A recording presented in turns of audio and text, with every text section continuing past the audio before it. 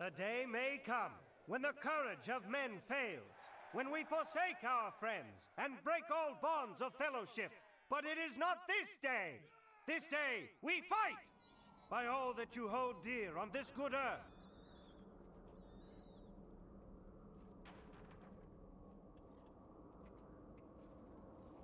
In your eyes, I see the same fear that would take the heart of me. The day may come when the age of BFME dies.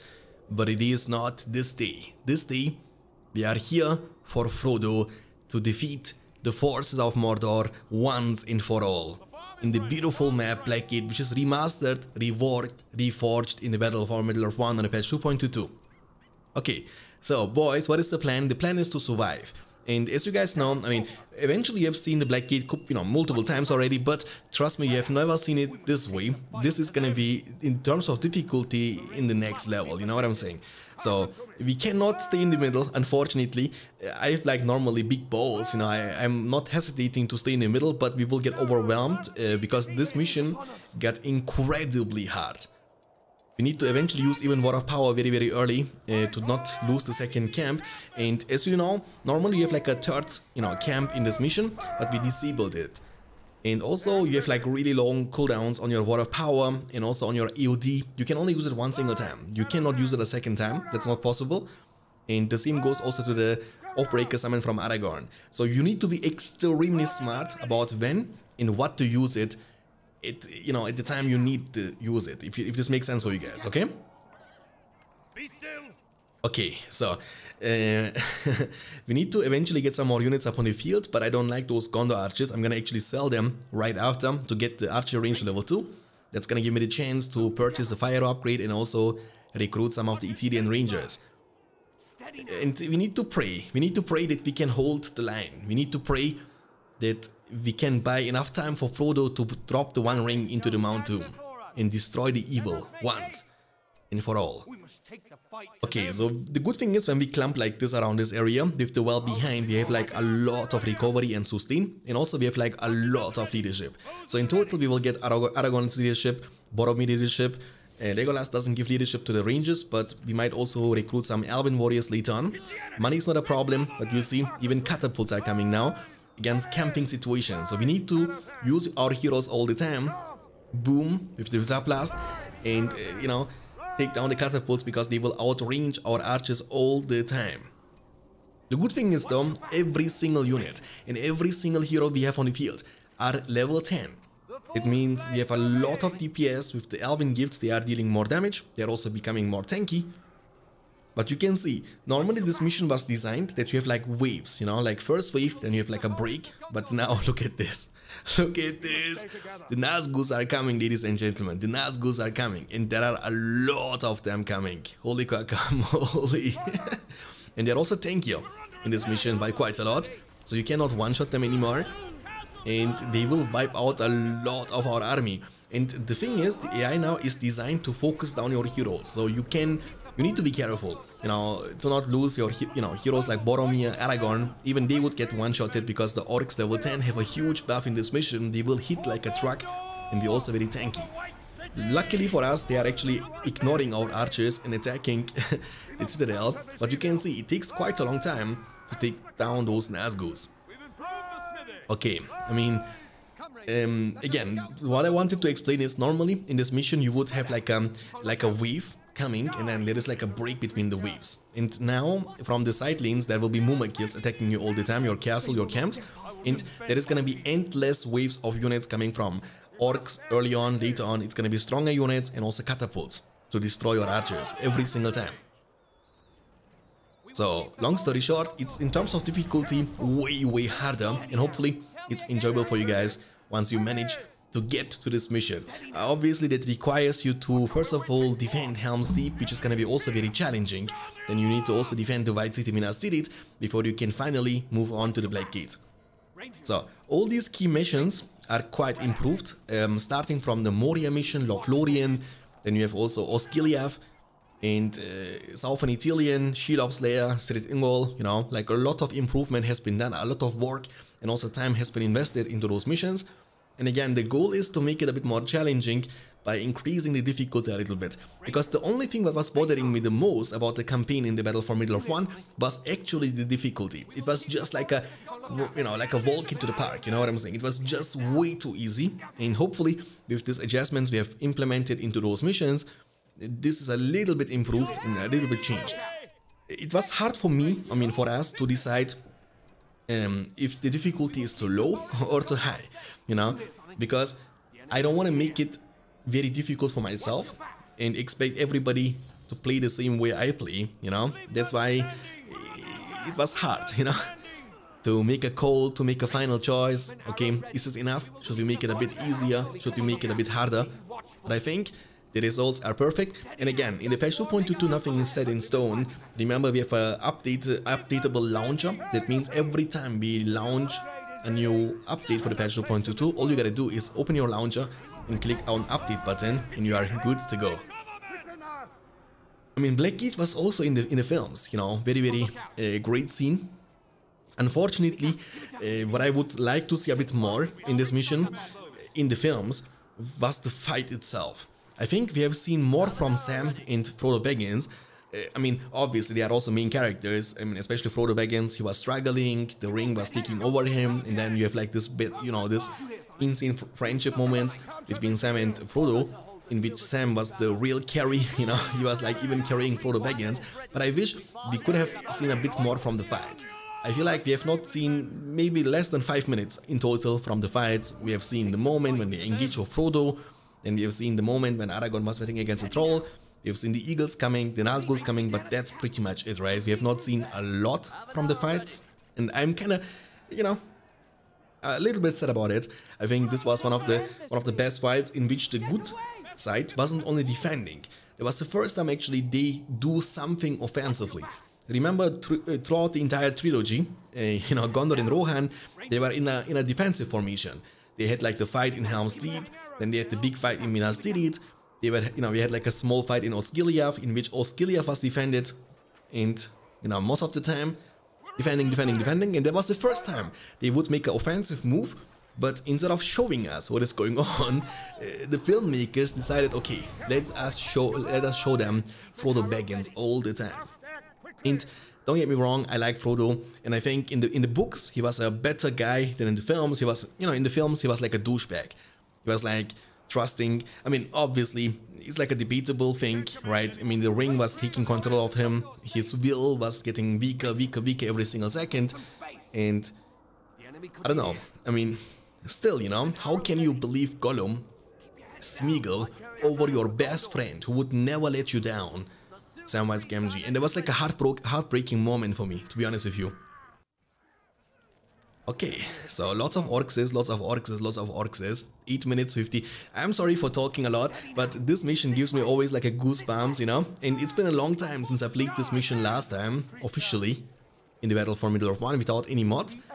And I'm happy, dude. I'm really happy with the difficulty of this mission quite a lot. And hopefully you guys will also like it and you manage to do it. I mean, it's a challenge, right? It's a challenge that you have to give it a shot. You might feel once or twice, but a true warrior never gives up and never surrenders. Okay, now it might look easy, but as you can see in the Black Gate, they are building an army worthy of Mordor, you know? And soon they will be ready to march out. The Mumakils. They don't stand a chance though, they get literally one shot, they get blown away. Look, look, he's raging, so we need to go back. And the problem is, those Mumakils have also Haradrims on top of them, and they are also level 10. They're also hitting like a truck, so we need to go for another blast if we can. EOD, as you can see, is still loading, and you can only use it once. So the one key thing when you play this mission yourself is when to use the EOD summon. When.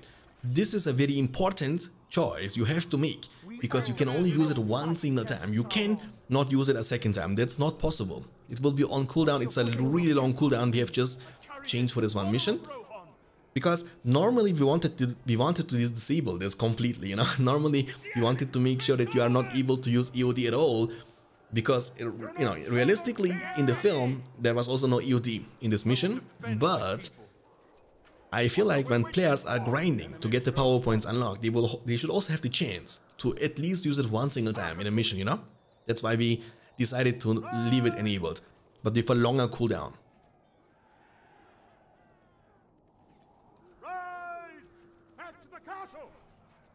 I mean, the thing is, we need to make sure to protect the second camp. If you don't know what's gonna happen, they will try to focus your buildings down. And if they manage to destroy every single building, regardless of your army, regardless how strong you are, you will be defeated. So you cannot hope that your units are gonna be alive, but your buildings can be destroyed. No, you need to make sure to save both of them. Okay, more catapults are coming, but we can actually just kill them in a second. And I'm also pretty tempted to actually go inside the Black Gate fully and go for a juicy, beautiful, hitting like a truck, Word of Power moment. You shall not pass moment. Okay, this is so satisfying dude. You see this endless waves of level 10 orcs coming all the time. And also Mumakil spawning every couple of minutes from the side lanes. And uh, yeah, yeah, this is what I like to see. And I, I believe, guys, please let me know in the comment section down below if I'm wrong or not. But I think the campaign of the Battle for Middle-earth 1 is basically like watching the films. And with that I'm trying to say is you can play it one single time, but it's not gonna be enough. After like a one or two years, you have like still the motivation Unlike me, because I just lost my motivation. My Gandalf inted. My Gandalf is like, hey, what is up there? Let me go under the Mumakil. how to handicap yourself. That's not how you're supposed to play. Because now, look, the Mumakil is attacking the wall around my camp. And Gandalf has like a really long revive time, dude. Uh, but again, nothing happened. We pretend like this never happened, okay, guys? Because, uh, you know, when it, when it comes to talk and play at the same time, I'm struggling. I'm getting older, you know what I'm saying? I'm 31 years old. And back to the what back to what, what I wanted to say. Sorry, I think playing this is like watching the films, right? You can play it now, and then after like a year or two, you have again the motivation and the will to give it another shot. And that's why we wanted to improve this, because I believe it's like an evergreen game. Even though, realistically, this game is old, right? It's gonna be almost 20 years old very very soon, and unfortunately in 2010, EA Games abandoned this game. That means there is no more server support since over 12 years in total. But it's still a popular game, despite the fact it has no advertisement, no, you know, no competition, no marketing at all behind this project. But I think it's still one of the best RTS games ever made. It's one of the most unique RTS games ever made, especially Battle for Middle-earth 1. I mean, BFME 2 and Rise of the Witch King are kinda, kinda like a Age of Empires style of a game, but this one is so unique, you know? That's the reason, and also because it's like uh, it's like playing the films. It's very good game. I just can't stop it, you know.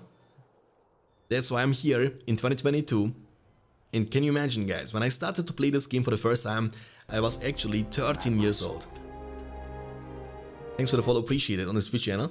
I was actually 13 years old and now I'm 31. So basically 1-3 was my age, now I'm 3-1 and I'm still here, you know? And very soon I will have a son, uh, and I will try to teach him when he grows up a little bit to play this game. I don't want this game to die anytime. And I hope maybe because of your help, guys, as we are getting lots of views on this channel and also lots of subscribers. By the way, you should subscribe to the channel if you haven't already. Maybe EA Games or any other game developing country, uh, company, sorry, not country, can actually see that there is still potential in these games. See that there is still lots of hype lots of fans around these games about these games you know of these games. And then maybe we can get those people get those companies kind of kind of encouraged to you know make a new game based on the Battle for Middle-earth uh, Lord of the Rings RTS game. Not a mobile game anymore. Please stop it you know? I can't stand mobile games mobile games. The reason is simple because uh, like almost every single mobile game I've ever played or I've ever heard of is actually pay to win. Okay boys, it is time. Boom son, on your face. Gandalf striking once again. Okay, so we need to only hold for 45 seconds until we can call Eomer's army, you know, the, the Rohan army we have built up over the time. But That doesn't mean that the mission is victorious. That would be a little bit too easy and there is still a lot of stuff to come. Okay, we killed him. That's good. Look, this guy, you know, the Mumakils are trying to make the Gondor camp look like a Mordor camp. Oh, you see, now the combos are coming. Trample orcs with knights. What knights? I don't have knights. Sorry, I have like a ranger army. Trolls are coming now. Everyone is um, every one of them is level 10. I mean, the thing is, uh, we are clumped in a, in a location. So what I'm gonna do now is I'm gonna actually uh, give them hold ground stance, those Rohan horse heroes, put them also next to the archers so they have also even more leadership. And we can also put the Rohirrim archer in between them. And then the normal Rohirrim army, the normal Rohirrim warriors, we can also use later on, you know, to defend the second camp if it's needed. Oh, okay. Um, you see, now you, you see combos, right? Level 10 combos all over the place. But oh my goodness, man, we need to find a solution to this problem. The thing is, I don't want to split my army too much. And also, in this mission, we have disabled the statues. So you cannot build a statue even for more insane amount of leadership to have like zero struggle. The thing is, if our units wouldn't be level 10, we would not be able to defend this. But as we are level 10, with Boromir damage leadership, Aragorn damage leadership, Theoden damage leadership, we have actually crazy amount of DPS and the one, you know, one tap and one shot everything that is coming anywhere close to our camps. Especially around the Rohan. And if you're wondering why I'm fighting around the Rohan camp and not around the Gondor camp, is simple because Rohan camp has like more openings. I mean, now, obviously, I could also fight in the Gondor camp because it's like wide open now, but, you know, that's the main reason. I just generally can't stand the Gondor camp. It's like a very tiny opening, which kind of handicaps you more than it handicaps the opening, you know what I'm saying? Okay, so surviving, surviving, surviving, and hoping for the last stand. Come on, Frodo Baggins. Come on, Samwise Gamgee. Hmm, okay, so we have also every single Rohirrim, beside the one, is level 10. With full upgrades, shields, heavy armor, and also forge blades and banner. Okay, we need to trample down those combos. They are coming to the second. You see like two lines coming, you know, one line is going to the one camp and the other line is going to the other camp. I mean, this camp is kind of protected. We can go for a Wizard Blast once again on the on the on the catapults to make sure that we can kill them before they can do anything else. But in the meantime, we need to protect this area. Very important. This level 10 orcs, they're ignoring our Rohirrim summon. They want to actually go for the camp, which is very smart. But the thing is, we have a lot of money, right? But the problem is, we can't use the money at all. Like, we are command points capped big time. We won't be able to recruit any more units anytime soon in this mission. Until we lose our army. But if we lose our army, it's gonna be doomed anyway. So, the money is kinda useless. We have like, what, 107,000, dude? What the heck? I mean, the thing is, as you know, in, in BFME 1 campaign, the thing, when you get like a mission done, every mission gives you like a bonus like more command points, for example, more power points, or even more uh, multiplier on the resource income. And you see at the bottom left side of your screen, there is like a x3.5. That's the amount of money we get. Uh, we get 3.5 times more money than we would normally get in a normal game, you know? That's what it means. Okay, we need to lure those trolls to our army. Come on, trolls, follow me, please. Okay, so, oh, let them come, as Gimli would like to say. castle. We will regroup there. Okay. Now it's only about holding, defend. Oh, you see the Mumakil is running wild. Hopefully he won't. I, I can't move really. Because I'm in a very good spot. I don't want to move at all. My Legolas got killed off. That's very unfortunate. Oh my goodness. The Mumakil just one-tapped my Aragorn. Oof. And also guys, the new version of the patch 2.22 got released. With all the campaign changes, with all the campaign improvements, you can just, you know, again, open your launcher, click on update, and then, you know, after watching this video, hopefully, you can start playing your own campaign. The good campaign got only reworked, but also, of course, in long terms, we will also rework the evil campaign. The thing is, guys, unfortunately, I need, I need to be honest with you, it's very time consuming, right? It's not like a mission can be done in 10 minutes. It's not like the Black Gate here because especially for us because we have zero experience yet you know you make a change it kinda crashes the game we made a change it was having like lots of bugs. So in order to make one mission all alone work, countless hours where it was needed to make it happen. So that's why the evil campaign is gonna take a while until it's gonna be finished because you want to make sure that it doesn't have, have like any bugs or errors you can eventually run into if this makes sense for you guys. So if you enjoy it, if you enjoy the good campaign, if you want to see the evil campaign, make sure to leave a like on this video and also subscribe to the channel because that's gonna cost you nothing but it's a huge spot anyway. I would really really appreciate it a lot. Okay, okay, okay, okay. So, uh, come on, the third wave. You see there is like, you see on the minimap, there is like a huge, giant wall of units, you know, we can go for a Visa, not Wizard Blast, but a Word of Power there in this situation. Mordor is emptying, defend your camps at all cost. Okay, now we are talking, and the timer doesn't even appear yet. The timer for for the Frodo. So basically, I mean, obviously you have eventually played this mission a couple of times, but when you come close to the end, there will be a timer, and it will say, for example, 5 minutes until Frodo drops the ring. Sorry for interrupting you, Gandalf. There will be like a timer, which tells you, okay, 5 minutes until Frodo destroys the One Ring. This mission is not about defeating Mordor, because you can't. They have like endless, endless supply, you will have endless amount of units, and the longer the game goes on, the more chances you will have to lose. I mean again, we are camping in this area completely, because I was too scared. I actually, I gotta be honest, I got defeated. Now you see Frodo arrives at Mount Doom in 4 minutes. And that's the time we need to be, you know, staying alive. Defeat trolls with archers. Okay, now more, more Nazguls are coming. Gotta use. Now we need to use AOD. Now, that's what I saved AOD for, because you see what's coming, right? You see how many trolls are coming? The Nazguls too.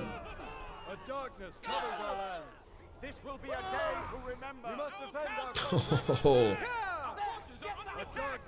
Nazguls too, yes. They don't want to die too, the Nazguls. They're so tanky, man. Okay, the good thing is, imagine if you wouldn't save the EOD for the, for the troll army. Imagine that. I think they would have smashed us. Again, it has like a really long cooldown, guys. You can only use it one single time, so you want to be extremely careful and smart about the timing. About when and where. Okay, three more minutes, boys. The Nazguls, they refuse to die. And please, a question to you guys. Let me know in the comment section down below what do you think about the new fall into dead animation of the Naz of the Nazguls. Do you, do you like it? You know, in terms, uh, I mean, obviously, normally in BFME 1 they were exploding in the mid-air, you know, they were exploding, now they fall on the ground. They don't deal damage though, because it will kind of be like a direct buff to the Nazguls. I don't think they will need any buffs anytime soon. But it's like more realistic. The Eagles, they will still explode, because, you know, ideally, and that's like the plan of the patch 2.22, we want to have unique stuff for everything. So exploding is gonna be still in the game, but it's gonna be exclusive for the for the Eagles. Now the Nazguls and the Witch King they're gonna fall from the sky like a bird, you know, and you get and you can kill them. And in long terms, we are also planning to add more unique stuff for each faction, for each unit, for each hero. But again, unfortunately, it's time consuming and we cannot do this in a full-time job, that's not possible. But trust me, every minute we can spare, every minute we can you know, do stuff, we are doing stuff.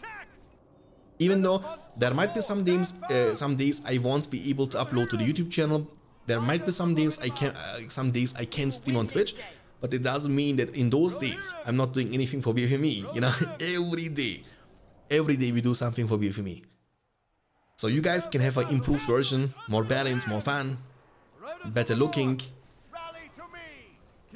because when there is no company behind it, we gotta stay behind it if this makes sense. We won't let those games die. Okay, one more minute. I mean, again, when you play it for yourself, you can also try to stay in between the gates, like the original location of the army of the of the fellowship. But for me, it was a little bit too risky, especially when I do commentary and play at the same time it's for me very hard. I'm getting older, guys. I'm sorry, you know what I'm saying. That also happens to me when I play competitively. When I play like a one, new I'm a, I'm a good player in BFME one. I know what I'm doing, and I can also most of the time execute it.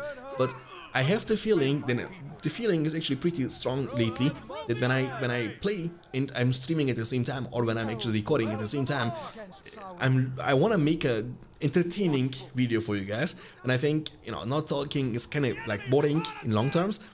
But I feel like when I talk and play at the same time, I make mistakes all the time. GG well played though. Frodo made it to the mountain with the help of the Samwise Gamgee, and the good factions are victorious once again.